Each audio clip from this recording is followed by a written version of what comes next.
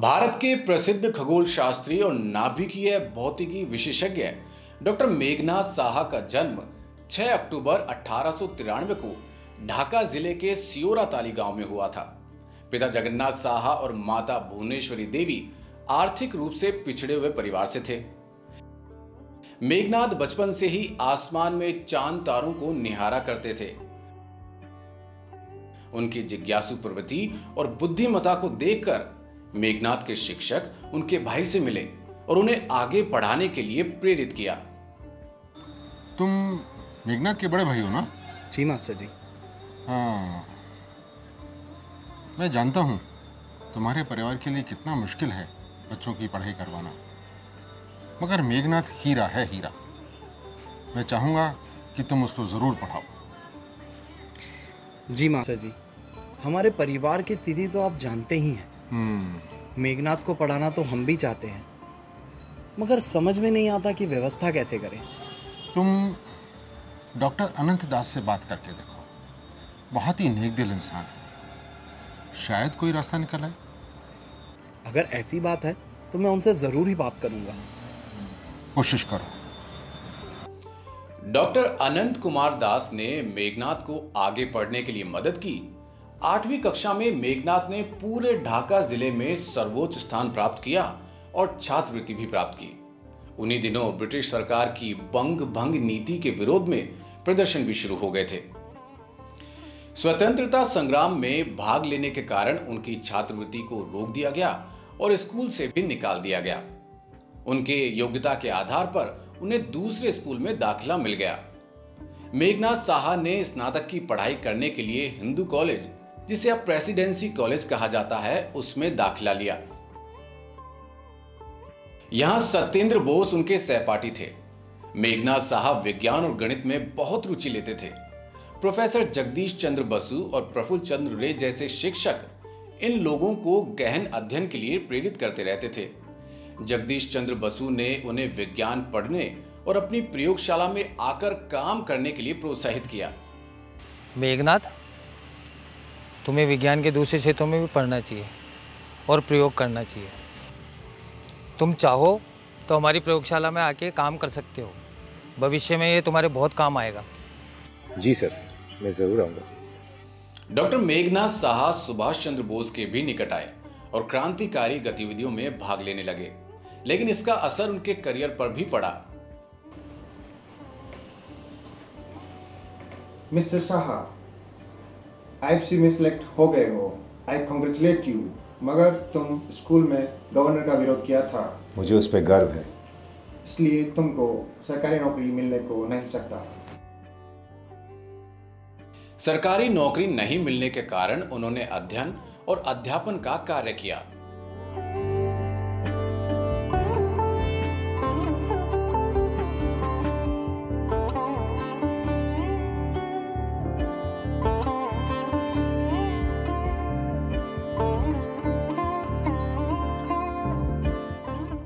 क्या बात है?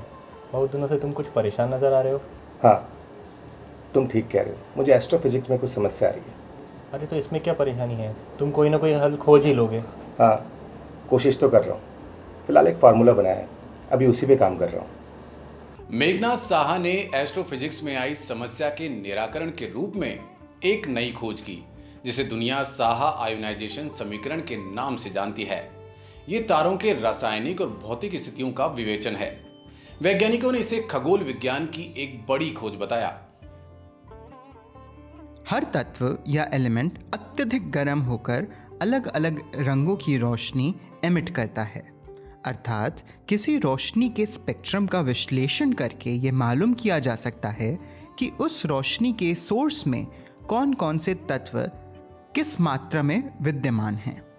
उदाहरण के लिए सूर्य के प्रकाश के स्पेक्ट्रम जिसे हम इंद्रधनुष कहते हैं, उसके एनालिसिस से हमें सूर्य का कॉम्पोजिशन पता चल सका है कि उसमें 73 परसेंट हाइड्रोजन 25 परसेंट हीलियम एवं 2 परसेंट अन्य तत्व हैं। इसी प्रकार आयोनाइजेशन फॉर्मूला के आधार पर खगोलविद विभिन्न तारों से प्राप्त प्रकाश के स्पेक्ट्रम का विश्लेषण कर उस तारे की संरचना की जानकारी दे पाते हैं। डॉक्टर साहा द्वारा प्रतिपादित यह सूत्र आज भी उतना ही प्रासंगिक है। डॉक्टर मेघनाथ शाह के इस खोज को एस्ट्रोफिजिक्स के 10 सर्वाधिक महत्वपूर्ण खोजों में से एक माना जाता है। 1920 में डॉक्टर साहा इंग्लैंड गए और कई वैज्ञानिकों के संपर्क में आए। बहुत कम उम्र में ही रॉयल सोसाइटी के फेलो चुन लिए गए। दुनिया के कई वैज्ञानिकों से मिलकर डॉक्टर मेघनाथ ये तो समझ चुके थे कि नाभिकीय भौतिकी, यानी न्यूक्लियर फिजिक्स का भविष्य में उपयोग होने वाला है। और भारत कहीं इस क्षेत्र में पिछड़ ना जाए, इसलिए उन्होंने सघन प्रयास किए और न्यूक्लियर फिजिक्स कोलकाता विश्वविद्यालय में पढ़ाया जाने लगा। उस समय विज्ञान के क्षेत्र में होने वाले अनुसंधानों की सूचना भारत में बहुत देर से पहुँच पाती थी। डॉक्टर साहा के जीवन का उद्देश्य तो जैसे हर क्षेत्र में अध्ययन करना खोज करना और समाज सेवा करना ही था। हमारे देश में नवीनतम खोजों की खबर जब तक पहुँचती है तब तक हम बहुत पीछे रह जाते हैं। हमें इस बारे में ज़रूर कुछ किया जाना चाहिए। सर अधिकतर रिपोर्ट्स जर्मन भाषा में हैं तो क्यों ना हम इनका अंग्रेज़ी अनुवाद कर लें? ज़रूर। सबसे पहले आइंस्टाइन के सिद्धांत थ्योरी ऑफ़ रिलेटिविटी को किया जाना चाहिए। मेघनाथ के जीवन का उद्देश्य तो अध्ययन करना और खोज करना ही है। मेघनाथ साहब आइंस्टाइन ने तुम्हारे सिद्धांत ऊँचे तापमान पर तत्वों के व्यवहार को इस संसार के लिए विशेष दिन बताया है। Proud of you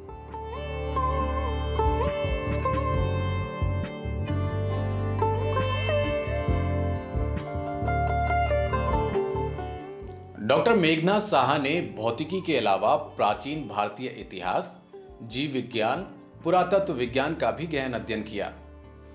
doctor Meghnad Saha ने भारत का पहला साइक्लोट्रॉन नामक उपकरण भी बनाया। डॉक्टर साहा ने बचपन में बाढ़ की विभीषिका देखी थी, इसलिए उन्होंने बाढ़ के कारणों और रोकथाम के बारे में गहन अध्ययन किया। वो दामोदर वैली प्रोजेक्ट सहित कई नदियों, बांधों और बिजली परियोजनाओं में सहयोगी रहे। डॉक्टर साहा ने कई संस्थानों की स्थापना में महत्वपूर्ण भूमिका निभाई, जैसे Saha institute of nuclear physics, national academy of science India, Indian physical society. Doctor Saha Indian science news association से भी जुड़े रहे। विज्ञान को आम लोगों तक पहुँचाने के उद्देश्य से विज्ञान और संस्कृति विषय पर उन्होंने एक मासिक पत्रिका भी निकाली। देश में विज्ञान की पुस्तकों की कमी को उन्होंने गहराई से महसूस किया था। उन्होंने स्वयं भी कई पुस्तकें लिखी। डॉक्टर मेघनाथ साहब वैज्ञानिक होने के साथ साथ समाज सेवी व्यवहारिक और लोकप्रिय शख्सियत थे।